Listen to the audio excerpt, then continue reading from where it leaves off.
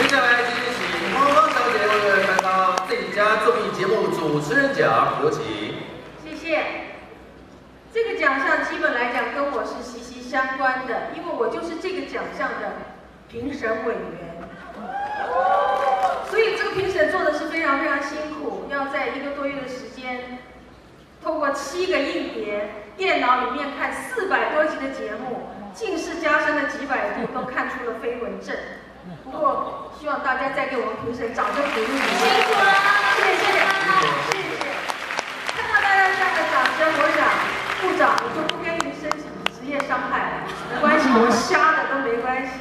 不过，我想这个奖项也是我们在评选过程当中讨论最久的，因为这一次的所有的男的入围者，几乎都在这个奖项跟我一样镀过金。所以大家实力是非常相当的，所以在评选的过程当中就非常的激烈的争吵。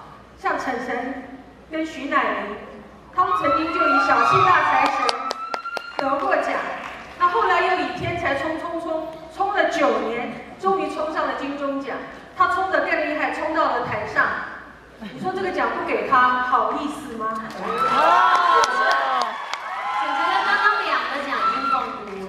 对呀，所以你们有其开一个安慰奖也不行。可是我想碰过跟许孝顺一定不答应，因为你们两位的默契也是非常好。从铁狮玉玲珑，对不对？到夜总会，你们全台湾几乎是走遍了。我觉得你们这个组合是最接地气的，而且我觉得能够跟观众做到零距离的一个表现，是难度非常高。所以这个奖应该也是要给他们的，是不是？有理吧？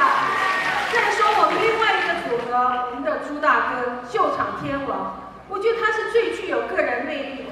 他只要站出来，不需要讲任何的话，身上挂一个麦克风，你就觉得很好笑。他这次搭档的人选又是我们歌仔戏的天王陈雅天王对天王，他们演的这个短剧，你现在看很好笑，几年后再看还是觉得很好笑。我觉得就是天王的魅力，天王的组合。如果奖不给他们。也是天理不容，哦是不是？可以说我们的另外一对组合，是我们所有入围里面俊男美女、画面最漂亮的于晨静跟来了。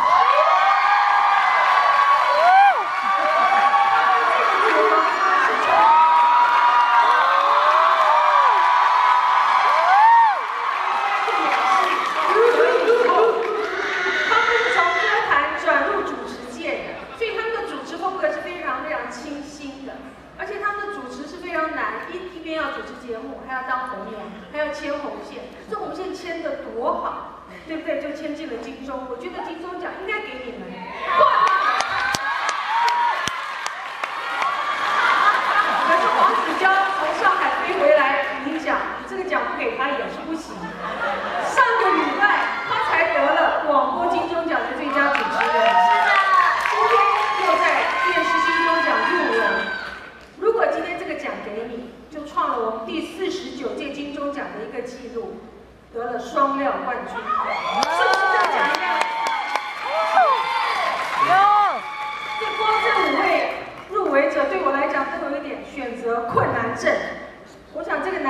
交给我们其他的评审好了我们赶快来看看入围的名单。综艺节目主持人奖入围的有他们做了。哈林与重庆。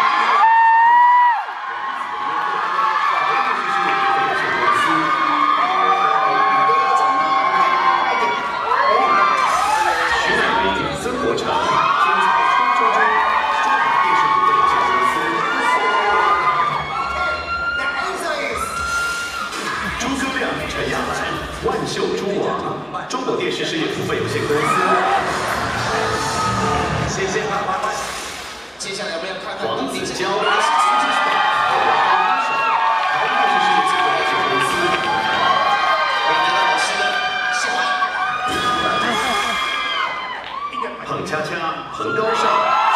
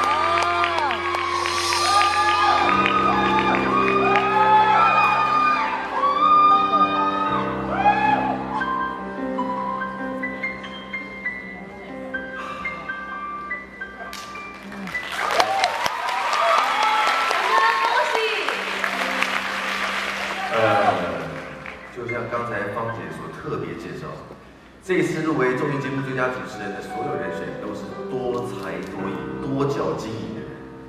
综艺节目可以让现在的人脱离现实，可以让他享受一个纯粹的快乐。能成为一个综艺节目主持人，能够入围的话，我觉得他在很多地方必须要下足很多的功夫。而我们刚刚所看到的每一位入围者，他们都具备这样的条件，所以给我是对的。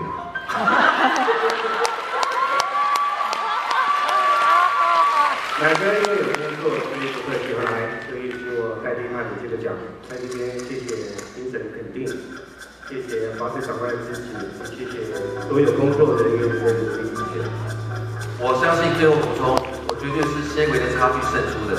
每一组人都是值得尊敬，而且值得我拥护的朋友。谢谢你们，让我们觉得得到这个奖更有意义。谢谢我优秀的客家传统，好不好？我会继续努力加油。谢谢多多，谢谢王师，再次谢谢王师，谢。谢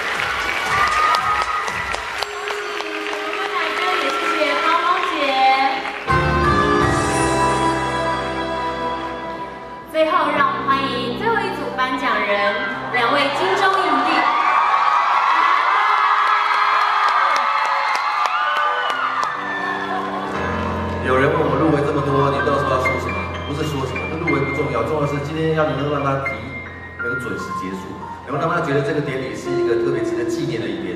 来说说？是，欢迎大人跟陈柏霖以及